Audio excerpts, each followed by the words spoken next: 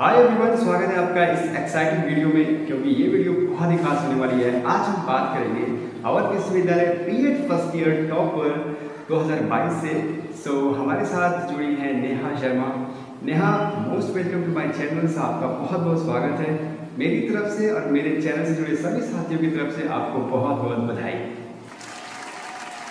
Yes thank you so much sir और thank you so much जो मुझे देख रहे हैं आपके और हमारे दोनों साथियों को। थैंक यू सो मच कि आपने हाँ। मुझे बुलाया।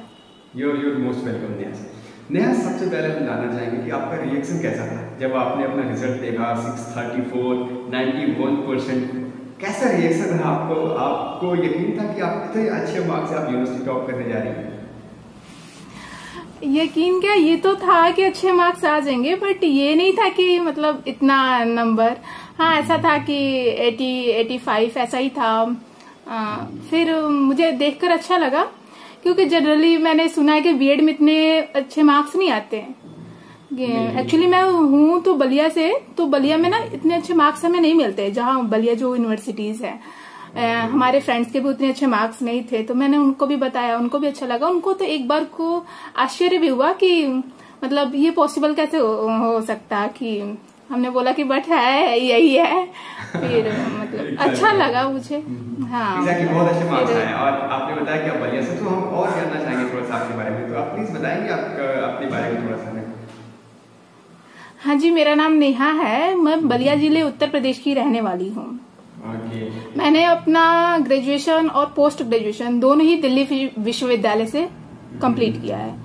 फिर मैंने अवध विश्वविद्यालय में एडमिशन लिया बीएड के लिए। फिर वहाँ से मैं बीएड अभी कर रही हूँ।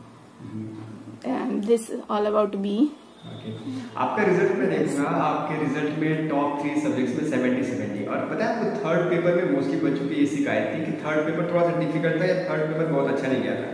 इसमें भी थर्ड पेपर में सेवेंटी नंबर एटी में स्कोर करना is quite appreciable I mean कैसे किया आपने? यस यस यस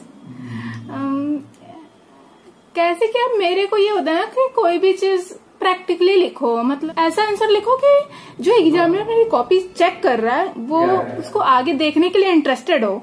ऐसी ऐसी एज यूजल जो हम यूज़ करते हैं वो तो नहीं यूज़ करेंगे ना एग्ज़ाम में। तो फिर उस तरीके से थोड़ा सा अच्छा लेवल जैसे कि हम मैथ्स में यूज़ करते हैं तो गणित को ऐसे गणितीय प्रतिरूपण क्रियात्मक अनुसंधान जैसे चीज़ों को यूज़ मतलब वर्ड को यूज़ करो।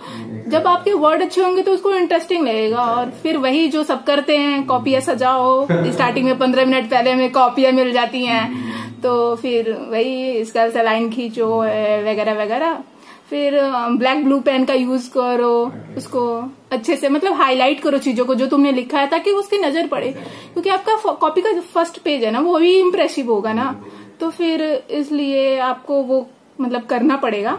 क्योंकि वो अच्छा होगा तो फिर वो इंटरेस्टेड होगा आगे की कॉपी साइन करने के लिए। मुझे ऐसा लगता है। तो मैंने यही किया है सिर्फ़, और तो आपने हाईलाइटर भी यूज़ किया था लिखने time exam highlighter black blue pen ही यूज़ किया था अंडरलाइन किया था चीज़ों को जहाँ जैसे कि मतलब वो है ना कि लोग कहते हैं कि दस बार पढ़ने से अच्छा है एक बार मतलब ऑडियो विजुअल चीज़ें यूज़ कर लो. जो मेरी तो ऐसा किसी आपने ऐसा ही था। अच्छा अच्छा आपने कौन सी लैंग्वेज में पेपर दिया था? मैंने तो लॉन्गेस्ट तो हिंदी ही रखा था अपना। मातृभाषा हमारी हिंदी है तो मैंने हिंदी ही रखा था। तो अक्सर अक्सर लोगों की शिकायत होती है कि इंग्लिश वाले बच्चों को ज़्यादा मार्क्स मिलता है। हिंदी वालों के साथ थोड़ी सी भेदभाव होती है। आपने हिंदी में लिखा इतने अच्छे मार्क्स आपको आए। तो क्या कहना चाहेंगे इस पे? जो लोग शिकायत करते हैं कि हिंदी को कम मार्क्स मिलता है। नहीं शिकायत तो देखो कहीं ना कहीं हम हिंदी और इंग्लिश को नहीं शिकायत कर सकते। तो मुझे लगता है कि जिसने मेरी कॉपी साइन की उसके अंदर कुछ ऐसा नहीं था। और मैं भी इस चीज़ को ट्रस्ट नहीं करती हूँ। मैं भी एक टीचर बनने जाऊँगी तो मैं तो कभी ऐसा जज नहीं करूँगी कि किसी ने हिंदी लिखा। क्योंकि इवन मैं, अगर ऐसे सोचो तो क्या है कि मैं चीज़ें तो जानती हूँ। अगर मेरा मन तो वो मैं इंग्लिश में लिखूं, अगर मेरा मन तो वो हिंदी में लिखूं। लिखूँगी तो वही ना जो मैं जानती हूँ, चाहे हिंदी लिखूं, चाहे इंग्लिश लिखूं। हाँ ऐसा ऐसा वो आखिर आपकी कॉपी सेंटर आपके भविष्य के लिए वो अच्छा ही सोचता है, कभी भी टीचर अच्छा ही सिखाता है। तो मेरे को ये था कि जैसे कि अब आइडिया होना चाहिए लिखने का, जैसे कि अब मैंने, क्या यूट्यूब चैनल से मैं क्यों जुड़ी मैंने क्यों देखा आपका यूट्यूब चैनल तो उसमें मैं, मेरे बस ये था कि आइडिया चाहिए था, कितने पेज की कॉपी आती क्योंकि मैं अवध विश्वविद्यालय में पहली बार एंटर की थी तो मुझे नहीं पता था कॉपी कितने पेज की आती है, कितने पेज हमें लिखना चाहिए, किस टाइप के आंसर होते हैं तो ऐसा ही था तो फिर मैंने वहाँ से भी आइडिया लिया। तो लिखने पे बेस्ड है कि अच्छे से लिखो, क्योंकि मेरा ये फोकस जो शॉर्ट टाइप आंसर क्वेश्चन होते थे मैं उनको एग्जैक्ट लिखने की कोशिश कर रही थी। वो दस आंसर तो हमारे सही होने चाहिए क्योंकि हम उसको पहले प्रेजेंट कर रहे थे ना तो फिर वहाँ पे अगर उसको डिफ़ॉल्ट दिखता है तो फिर वो ज़्यादा इंटरेस्टेड नहीं होगा। तो मेरी कोशिश होती थी कि जो भी मैं पहला क्वेश्चन अटेम्प्ट करूँ उसको तो एग्जैक्ट मतलब सही लिखूं। ऐसा ना हो कि कुछ भी एज यूजल लिख रही हूँ कि बच्चा ये करता है वो करता है। बस मेरा इसी पे था कि हाँ तो आपको अच्छा पहले एक नंबर क्वेश्चन हाँ जी। हाँ जी ऐसा है कि मतलब मेरे पापा का भी यही शुरू से सिखाना था कि शुरू से एंड तक ताकि. एग्जामिनर को कोई डिफिकल्टीज ना हो कि फ़र्स्ट के बाद टेंथ पे जाऊँ टेंथ के बाद नाइन्थ पे जाऊँ नंबर देखने कि वो पंद्रह मार्क्स के थे तो ये टू मार्क्स के थे। तो मेरा ऐसा था कि मैंने सीरियल वाइज अपनी कॉपी को कंप्लीट किया था सारे सब्जेक्ट में ही ऐसा ही किया वैसे वैसे करना करना तो सारे क्वेश्चन है तो क्यों ना शुरू से ही शुरू किया जाए? हाँ जी हाँ जी हाँ जी बस यही है। तो सेक्शन ए फिर सेक्शन बी और सेक्शन सी ऐसे किया।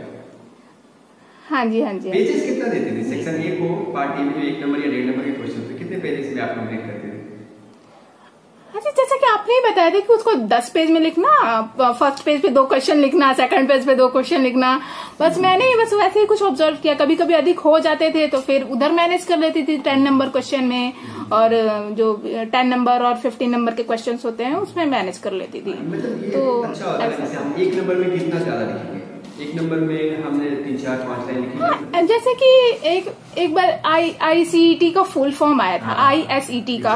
तो फुल फॉर्म लिखो मतलब तो यही है कि उसका फुल फॉर्म लिखो। अब हम लिखो अब उसमें चार लाइन में जोड़ के क्या करती जब उसका फुल फॉर्म आया था तो मैंने डायरेक्ट फुल फॉर्म लिखू ना। एक नंबर पे टू द पॉइंट जितना हाँ, पूछा ऐसा- हाँ जितना पूछा लिखो। ज़्यादा से ज़्यादा एक लाइन बढ़ाओ चार लाइन बढ़ा दोगे तो ना वैसे उसको पता चल जाएगा कि आप क्या स्टोरिया जो ना स्टार्ट कर दी हो शुरू से ही। हैं हाँ हाँ हाँ हाँ तो बस ऐसा ही है। और और सेक्शन सी मतलब अच्छा लग रहा है आपसे बात करके काफ़ी अच्छा आई मीन आगे वाले बच्चों के लिए हेल्प होगा। और टाइम कैसे मतलब मेरा लॉन्ग लॉन्ग टाइम में एक घंटे पहले तो मैं कर स्टार्ट कर देती हूँ कि आधे घंटे उसे लिखूँगी आधे घंटे उसे लिखूँगी। दो क्वेश्चन है उसको अच्छे से लिखना है। और फाइव पेजेस में पहले के दो पेज तो बहुत अच्छे होने चाहिए। एग्जैक्टली मतलब एग्जामिनर को लगा होना चाहिए कि आप कॉपी पढ़ के आए हो चाहे यूट्यूब मतलब पढ़ के आए हो। ये नहीं कि कॉपी भर रहे हो। बस ऐसा ही तो मैंने किया था कि मतलब बुक वाले लैंग्वेज को थोड़ा यूज़ कर लो। यही है। लैंग्वेज का ज़्यादा फ़र्क पड़ता है मुझे ऐसा लगता है। फ़र्क पड़ता है इन द सेंस कि कुछ भी नहीं लिख रहे हो। जैसे इंग्लिश में भी हम एक होता है कि अच्छे वर्ड यूज़ कर रहे हो और बिल्कुल ही। तो मैंने ऐसा नहीं था मैंने बीच बीच में इंग्लिश भी यूज़ की थी। अच्छा तो आपने इंग्लिश के भी वर्ड यूज़ किए थे उसमें? हाँ जी हाँ जी मैंने यूज़ किया था अच्छे से। आई मीन केवल कि मतलब- मतलब स्पेशली हेडिंग में यूज़ किया होगा या डेफिनेशन में या फिर आपने एक्सप्लेन किया था इंग्लिश में? एक्सप्लेन नहीं है जैसे कि मैंने वो वैसे बताया ना कि किसी ने लिखा ऐसे था मुझे उनका राइटर हाँ एक्शन रिसर्च राइटर का नाम या राइटर ने जो डिफिनीशन दी है उसको इंग्लिश में थोड़ा सा लिख देना ताकि मतलब हाईलाइट हो जाए इन्वर्टेड कॉमा में कर देना इस मतलब तरीके से तो लॉन्ग टाइम लिखा है बिल्कुल जैसे बुक्स में लिखे रहते हैं सजा के दोनों लैंग्वेजेस में एग्ज़ाम्पल को लगा हो हाँ। ये लड़की पढ़ आई है अगर हम इसको नंबर ना दें तो कहीं ऐसा ना हो कि नीचे एक में डाल दिया।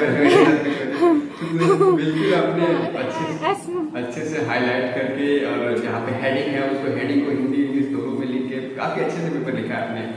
और इसी का नतीजा है कि हाँ। अच्छे मार्क्स आए आपके। हाँ जी। रिज़ल्ट रिज़ल्ट और मैं- रिज़ल्ट आने के बाद आपके दोस्तों और क्लासमेट का क्या रिएक्शन था? लड़ाई हुई होगी नहीं नहीं लड़ाई तो नहीं बस उनको ये था कि तुम्हारे घर तुमने अच्छा किया हुआ थी विश्वविद्यालय में एडमिशन लेकर। मतलब ऐसा था। लेकिन मैं तो अब अब आपने अपने क्लासमेट से कहा होगा एग्ज़ाम से पहले कि यार मेरी तो कुछ तैयारी नहीं हुई है। डेफिनेटली कहा होगा। और रिज़ल्ट आने के बाद इतने अच्छे मार्क्स तो उनका रिएक्शन क्या था? नहीं मैं तो ऐसे था ना शांत रहती हूँ एग्ज़ाम के पहले क्योंकि वो पापा ने सिखा रखा है कि ज़्यादा मतलब बक बक मत करो एग्ज़ाम से पहले। एग्ज़ाम के बाद खुल के बक बक कर लो जितना करना है तो शांत रहो बेटर है। हाँ। और बकबक करने के लिए था बस। बकबक करने के लिए भी आपका स्वागत है यहाँ पे। और वो आपने आपने Exa- शांति से जो पेपर लिखा मुझे एक शेर याद आ रहा है कि मेहनत इतनी खामोशी से करो कि सफलता शोर मचा दे इस- तरह से। कह सकते हो। लास्ट क्वेश्चन बस मैं कहना चाहती। मैंने ये भी बहुत क्वारी होती है। कितने पेजेस आपने कितने पेजेस लिखे थे पेपर में? हाँ जी मैंने thirty thirty one thirty one page होते हैं मतलब कि लास्ट तक बिल्कुल. एंड हाँ तो मैं थर्टी या थर्टी वन तक तो सब में ही लिखी कॉपी फुल है मेरी। क्योंकि वहाँ पे जितने आसपास बच्चे बैठे थे, उनकी भी यही कंपटीशन थी कॉपी तो लिखनी है पूरी। तो अगर मेरे तो हो ही जाते थे, उनका नहीं पता होता था या नहीं, लेकिन हो जाते थे उनके भी। मतलब उनके मकसद ही ऐसे थे कि लिखनी है। अब लिखना क्या है, उस पर मैटर करता कि क्वालिटी लिखो या कैसा लिखो क्वालिटी कंटेंट अगर हम सच क्वालिटी अगर लिखें तो फिर भी वो पेज तो टच कर ही जाएँगे, क्योंकि पंद्रह नंबर फिर आठ नंबर फिर पाँच क्वेश्चन तो। थर्टी पेजेस तो टच कर ही जाएँगे। हाँ हाँ। हाँ हाँ आराम से। आप जो बताए थे ना जैसे कि जो ऐसे दो दो क्वेश्चन एक पेज में लिखने वाला short type short answer type जो क्वेश्चन होते हैं वो करो सिंपल बिल्कुल परफेक्ट पेज बैठे थे। अगर अधिक थोड़ा बहुत अधिक हो जाए तो वो भी मैनेज हो जाते थे। सो मतलब मेरी वीडियो भी हेल्पफुल रही आपके लिए थोड़ा बहुत। हाँ हाँ जैसे कि मैंने रिवीजन के लिए वो देख लिया कि एक बार में जल्दी से रिवीजन कैसे कर लें क्या चीज़ इंपॉर्टेंट है क्या नहीं है। क्या छोड़े क्या पड़े वैसे तो सीरीज़ में भी था ही लेकिन फिर भी मैंने देख लिया ना वो है कि वो चलते चलते भी हम देख लेंगे वीडियोस तो। ऐसा था। मेरी तरफ़ से बहुत बहुत शुभकामनाएँ आपको सेकेंड ईयर के लिए। आई होप कि आप इससे भी बेहतर करेंगे और एक बार हम फिर से ऐसे बात करेंगे आपके आपके साथ। Okay okay thank you so much so thank you so much Neha अपने प्रीशियस वर्ड शेयर करने के लिए हमारे साथ बच्चों के साथ। आई होप कि काफ़ी हेल्पफुल होगा आने वाले बच्चों के लिए। और मुझे भी पर्सनली बहुत अच्छा लगा Yes, आपसे बात कर कर आपका रिज़ल्ट देख के। Thank you so much for joining. Okay. Okay, okay. Thank you so much. Thank you so much.